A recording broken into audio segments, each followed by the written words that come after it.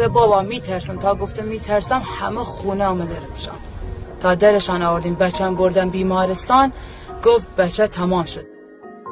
میگن عکس جانی شده ولی به قرآن هیچ کسی نیامده سراغ من. الان این جریان ما زیر چادر رو.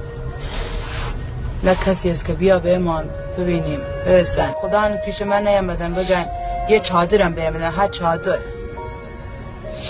وقتی نداره چکار کنم؟ برم زور کنم؟ شما به خدا به خدا خیلی ما احتیاجی داریم.